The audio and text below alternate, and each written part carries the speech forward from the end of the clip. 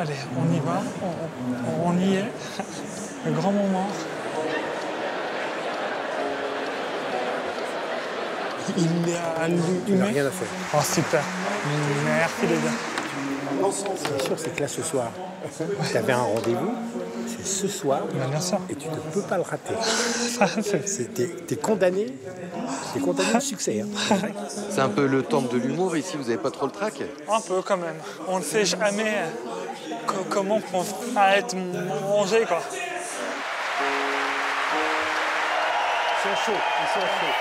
Ils sont chauds.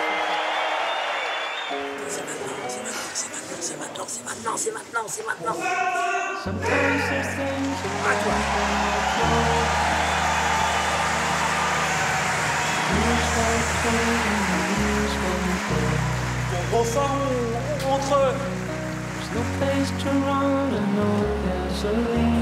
On aurait presque pu croire à une mauvaise blague. Un bègue qui rêve de devenir humoriste. Plus souvent habitué aux moqueries qu'aux applaudissements, la vie d'un bègue n'est pas forcément toujours drôle, sauf que Valentin, lui, a choisi d'en rire.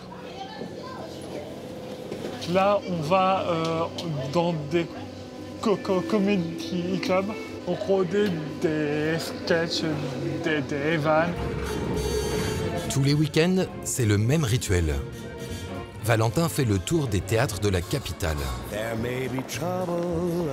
Il a même intégré le prestigieux Jamel Comedy Club, là où les meilleurs ont commencé.